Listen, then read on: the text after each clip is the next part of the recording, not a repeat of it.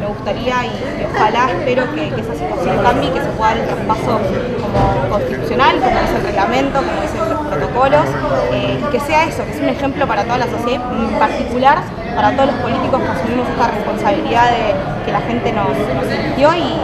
nada, y que todo transcurra con la mayor normalidad posible. Finalmente con, con Ramiro hemos decidido, hemos decidido otra cosa. Eh,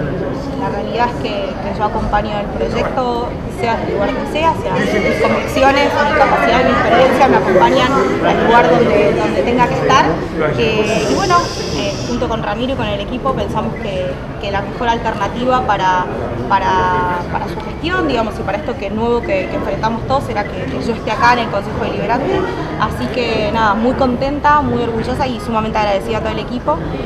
Y, bueno, igualmente, a ver, eh, yo soy de acá, me gusta estar en la calle, me gusta acompañar en la gestión, así que eh, calculo que si el tiempo me lo permite, eh, participaré de alguna manera, más que nada del rol de, vecina y de militante eh, de, toda la, de toda la gestión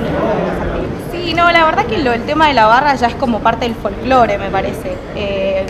está, a ver, me hubiese gustado que, no hayan capaz tantos cánticos agresivos, pero bueno, la verdad es que, creo que, es parte es parte del folclore y que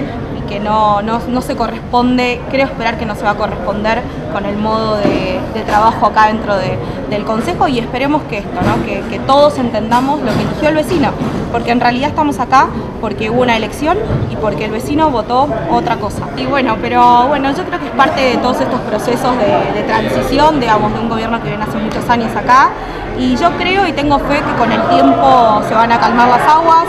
nos vamos a respetar y si no es así, la realidad es que nosotros nos eligió el pueblo y acá estamos.